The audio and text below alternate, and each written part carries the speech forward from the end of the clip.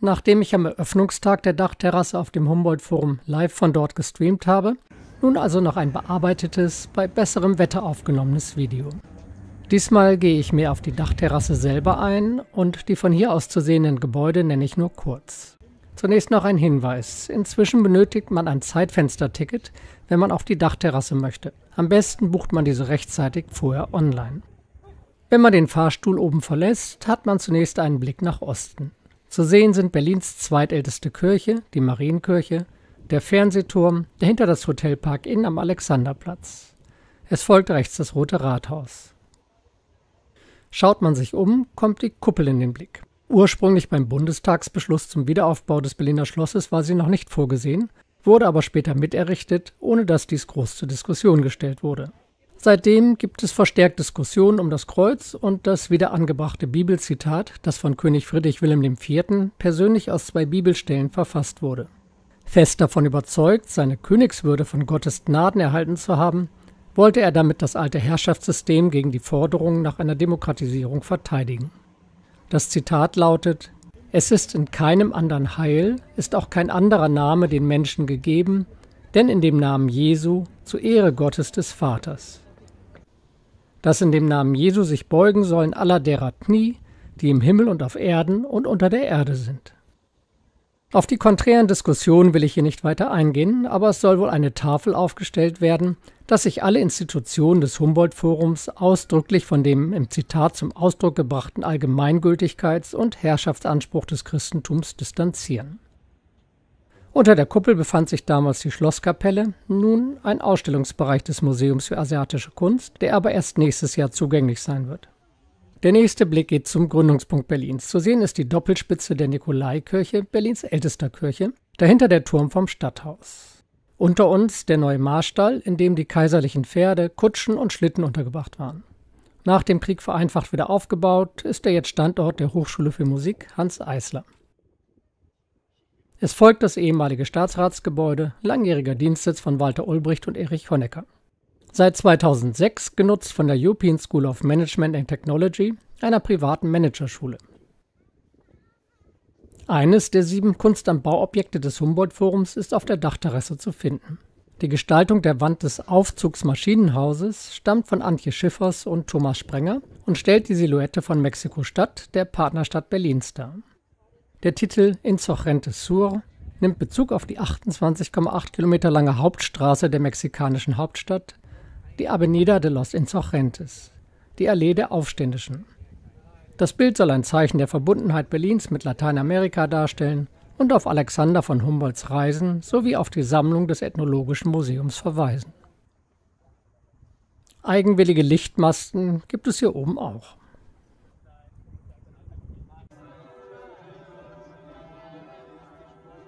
Es folgt ein Blick nach Westen in die untergehende Sonne.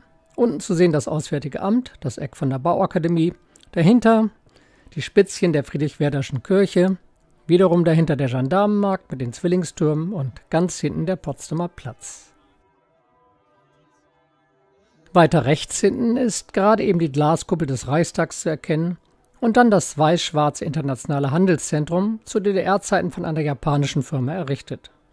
Ich finde, steht irgendwie im Wege, wenn man über Berlin schaut. Unter uns das rosafarbene Gebäude ist das Deutsche Historische Museum, ehemals preußisches Waffenarsenal. Dann gen Norden die Museumsinsel mit ihren fünf Museumsbauten und der Berliner Dom, dessen Glocken gerade zu vernehmen sind.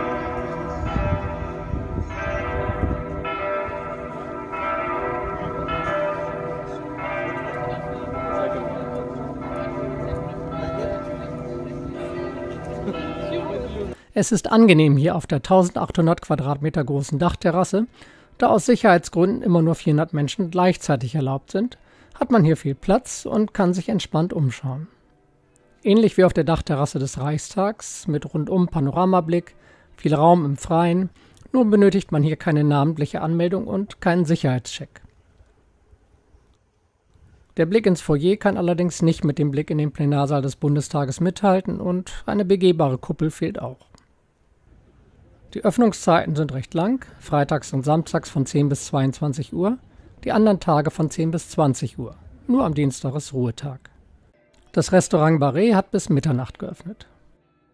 Das Dachrestaurant als flacher, aber von weitem sichtbarer Pavillon neben der Kuppel war übrigens zunächst gar nicht vorgesehen. Aber die zwei Dachaufbauten der großen Aufzugsmaschinenhäuser seitlich der zentralen Treppenhalle führten zu Überlegungen, wie eine Verkleidung bzw. Umbauung gelingen könnte. Schließlich kam man auf die Idee mit dem Restaurant und beauftragte hierfür erneut Franco Stella. Stella war sehr überrascht, welche Flächen für die Haustechnik im Humboldt-Forum benötigt werden. 8000 Quadratmeter im Untergeschoss und ebenfalls 8000 Quadratmeter im Dachgeschoss, umlaufend fast alle Flächen ausfüllend. Die Kosten für die Technik nahmen rund 30 Prozent des Gesamtbudgets ein. Benannt ist das Restaurant übrigens nach der französischen Forscherin und Botanikerin Jeanne Barré. Sie war Mitglied einer Expedition, die zwischen 1766 und 1769 den Südpazifik erforschte. Sie gilt als erste Frau, die die Welt umsegelt hat. Im Jahre 1740, als Friedrich II. die Regentschaft übernahm, wurde Jeanne Barré als Tochter eines Tagelöhners in einem kleinen französischen Dorf geboren. Schlechte Voraussetzung für ein ungewöhnliches Leben. Aber sie lernt in ihrer Jugend viel über Heilkräuter und mit etwa 20 Jahren wird sie Haushälterin bei dem zwölf Jahre älteren, verwitweten, hoch angesehenen Naturforscher Philibert Commerçant. Aus den beiden wird wohl ein Paar, wenn auch wegen der Standesunterschiede nur heimlich. Commerçant wird eingeladen, im Auftrag von König Ludwig XV. die erste französische Weltumsegelung zu begleiten. Da Frauen auf Schiffen bei der französischen Marine grundsätzlich verboten sind, verkleidet Barré sich als Mann. Aus Jeanne wird Jean, der Diener und Assistent Commerçants. Zwei Jahre geht es um die Welt, bis ihre Tarnung auffliegt. Der Leiter der Expedition, Louis de Bougainville, vermerkt in seinem Logbuch, dass die indigene Bevölkerung auf Tahiti sie sofort als Frau erkannt habe. Auf Mauritius trennen sich der kränkelte Commerçant und Barré von der Expedition und bleiben zur näheren Erforschung der Insel fast fünf Jahre dort wo sie mehr als 6000 Pflanzenarten sammeln, die sich heute im Museum National d'Histoire Naturelle befinden. 1773 verstirbt Commerçant und Barré kehrt nach Paris zurück. Während mehr als 70 Pflanzen und Insekten nach Commerçant benannt wurden und die heute weltbekannten Bougainville-Arten nach dem Kommandanten der Expedition getauft wurden, erhielt Barré erst 2012 eine solche Ehrung. Ein neu entdecktes Nachtschattengewächs wurde auf ihren Namen benannt. Und nun noch ein Restaurant. Die ersten Restaurantkritiken sind übrigens sehr verheißungsvoll. Im Eingangsbereich zum Restaurant ist wiederum eine historische Spur des Palastes der Republik zu finden. Wenn ich auf Reisen bin, schaue ich mir Städte gerne zunächst einmal von oben an. Und in Berlin bin ich auch zu fast allen Aussichtspunkten hinaufgestiegen oder gefahren. Von denen gibt es zahlreiche. Den Glockenturm am Olympiastadion, den Grunewaldturm, den Funkturm, die Siegessäule, den Panoramapunkt am Potsdamer Platz, die Reichstagskuppel, den französischen und Berliner Dom sowie viele weitere Kirchtürme, den Fernsehturm, das Nationaldenkmal auf dem Kreuzberg und den Müggelturm.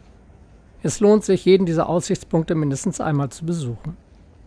Mit der Dachterrasse auf dem Humboldt-Forum ist ein weiterer attraktiver Aussichtsbereich hinzugekommen, der sicherlich schnell zu den am meisten besuchten gehören wird.